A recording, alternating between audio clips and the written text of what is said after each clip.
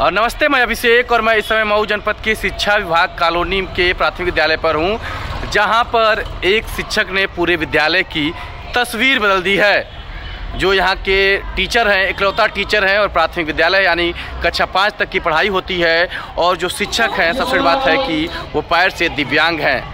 लेकिन दिव्यांग होते हुए भी जिस तरीके से उन्होंने गरीब बच्चों को पढ़ाने का बेड़ा उठाया, विद्यालय की तस्वीर बदल दी और तस्वीर बदलने के साथ साथ ये जो प्राथमिक विद्यालय है, पूरे बेसिक शिक्षा विभाग को चुनौती और संदेश दे रहा है कि एक शिक्षक चाहे तो किस तरीके से विद्यालय की तस्वीर बदलने के साथ साथ बच्चों को अपने सामर्थ्य अनुसार बेहतर एजुकेशन भी दे सकता है।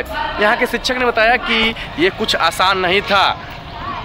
विद्यालय संवारना चुनौतीपूर्ण था। इसके लिए मैंने इच्छा शक्ति बढ़ाई, लोगों का सहयोग मांगा तो पूरा विद्यालय की तस्वीर बदल गई।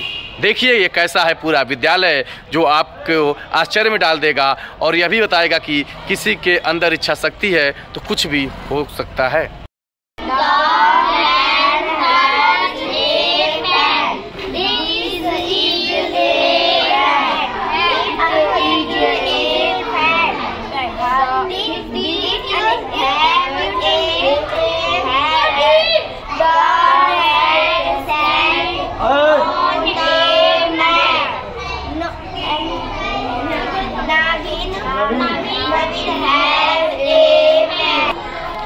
कितने दिनों से सर यहाँ पोस्टिंग है?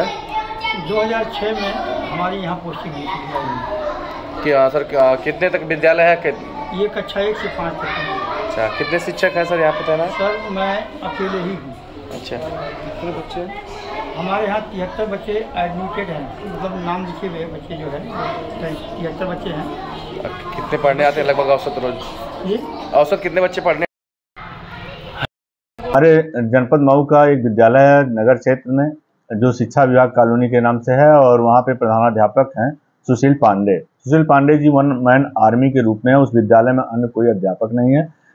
ये अध्यापक प्रधानाध्यापक के रूप में एकमात्र ऐसे अध्यापक हैं जनपद के जो बहुत ही लगनशील हैं मेहनती हैं और जो हमेशा सकारात्मक विचार के साथ चलते हैं।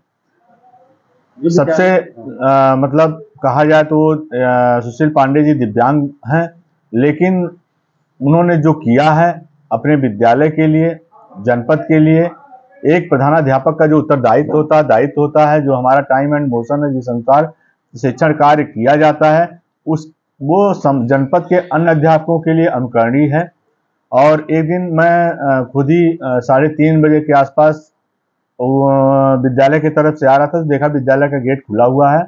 और अंदर देखा तो सुशील पांडे जी अपना कोई विभागीय कार्य रजिस्टर पे कर रहे थे। तो मतलब एक विद्यालय के प्रति एक समर्पित शिक्षक का यह भाव सभी शिक्षकों के लिए जनपद के अनुकरणीय है।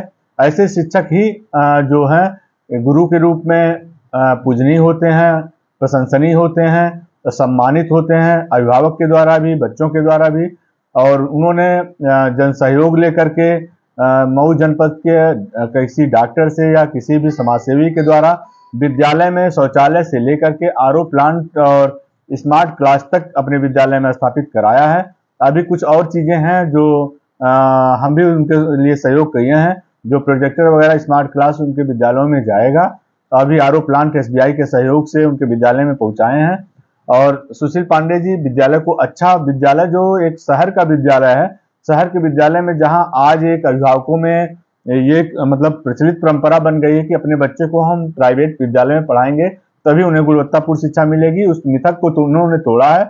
अकेले अध्यापक के रूप में इनके विद्यालय में नामांकन भी ज़्यादा है नामांकन के सापेक्ष उपस्थिति भी अच्छी है और ये विश्वास अभिभावकों का बनाए हुए हैं। ऐसे ही अध्यापकों की जनपद में ज़रूरत है जो शैक्षिक गुणवत्ता को बनाए रखें और उपस्थिति बढ़ाए रखें, नामांकन बढ़ाए रखें। नामांकन के हिसाब से उपस्थिति बढ़ाना ही, उपस्थिति बनाए रखना विद्यालय में एक अध्यापक का सबसे बड़ा गुण है जो उसके कर्तव्य दायित्व को निर्धारित करता है। राधा कुमारी। राधा कहाँ पढ़ती है? प्राथमिक विद्यालय स्कूल में। आ, कैसी पढ़ाई होती है यहाँ पर? अच्छी होती है। अपने सर के बारे में क्या कहेंगे? मेरे सर बहुत अच्छे हैं हम लोग को पढ़ाते हैं बहुत अच्छे से। और हम लोग फुलवारी साफ़ करते हैं स्कूल साफ़ करते हैं। सर? और हम लोग बहुत सारे पेड़ पौधे लगाए हैं। स्कूल में सभी लोग मिल के काम करते हैं पढ़ते हैं? हाँ। हाँ। स्कूल कैसा हो गया? है अच्छा हो गया। है। हाँ। अन्य स्कूलों से? अच्छा हो गया। है अच्छा है। मज़ा हाँ। आता है। हाँ।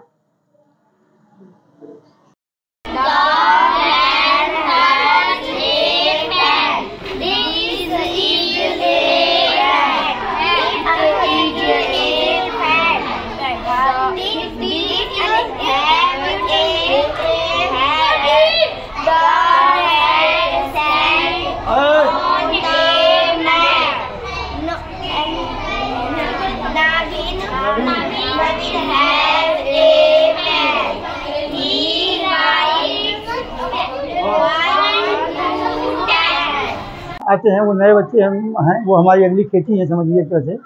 और बच्चे जो है अ, हमारे यहाँ सत्तर तक आ जाते हैं। हाँ।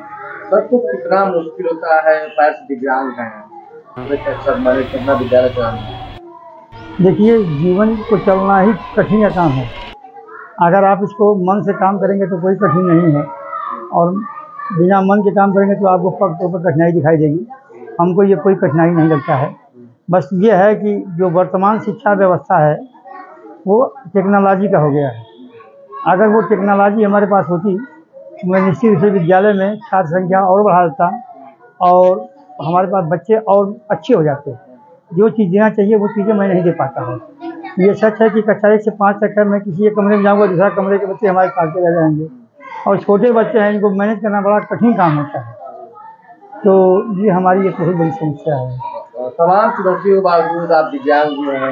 इतने बच्चों को मैनेज कर लेते हैं, विद्यालय परिषद भी चमक रहा है। कैसे सब कुछ होगा? ये इसके लिए आपको एक्स्ट्रा समय देना पड़ेगा। आपको अलग से सोच रखना पड़ेगा। आपके अंदर एक कंपटीशन की भावना रखनी पड़ेगी। जहाँ प्राइवेट विद्यालय पैसा लेकर के बच्चों को पढ़ा रहे हैं, वो जो कर रहे हैं, वो व्यवसाय के दृष्टिकोण से कर रहे हैं। और हम जो कर रहे हैं, वो सेवा भाव से कर रहे हैं। हम ज़रूर वेतन लेते हैं सरकार से।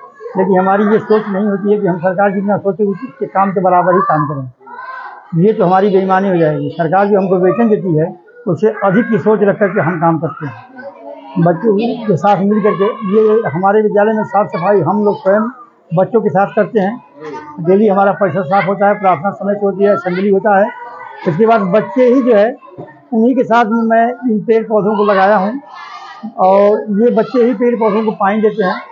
क्योंकि मौसम इस समय में दूसरा हो गया है जो पहले आप एक महीना पहले आए थे तो और बढ़िया अच्छी फुलवारी आपको मिल जाती देखने के लिए। तो सब कुछ इच्छा शक्ति करते हैं आप? हाँ ये बिना इच्छा शक्ति की नहीं होती है एक इच्छा शक्ति होती है जो संकल्प होता है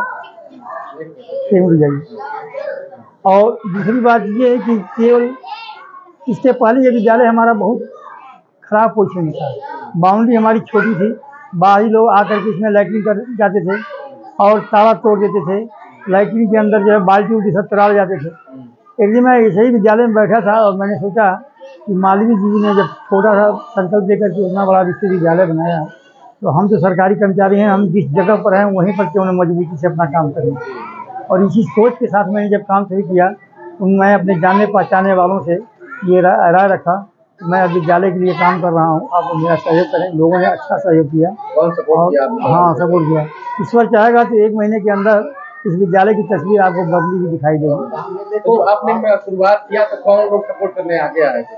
देखिए हमारे इस विभाग की सपोर्ट में डॉक्टर अरविंद श्रीवास्तव आए state bank bank of India और क्या ये दोनों बैंक हमारा यूनियन बैंक ये मैनेजर और लीड जो मैनेजर हैं यहाँ पर जो रीजनल मैनेजर हैं पंजाब नेशनल बैंक के रीजनल मैनेजर झा साहब और संजय सिंह जी हैं इन लोगों ने बहुत काफ़ी सपोर्ट किया। डॉक्टर संजय सिंह का मैं विशेष रूप से नाम लूँगा। डॉक्टर संजय सिंह ने इस विद्यालय के लिए जितना काम किया उसको शब्दों में बयां करना बहुत कम- कठिन है और जितना किया उसको कहना कम है। मतलब आपने कदम बढ़ाया तो लोगों का सहयोग मिला। हाँ हमने कदम बढ़ाया और लोग जो है हम हमारा सहयोग करते रहे हैं। आज भी करेंगे। अभी भी देखिए आप बता दें कि मैंने आपसे कहा कि एक महीने के अंदर मैं विद्यालय की तस्वीर बदल दूँगा। तो इसके पीछे जो है राज ये है कि लोगों ने लोगों से मैंने कहा है प्रोत्साहित किया है कि आप जो खर्च करते हैं सही जगह खर्च कीजिए, इन बच्चों के लिए खर्च कीजिए ताकि इन बच्चों का भविष्य सुधर जाए।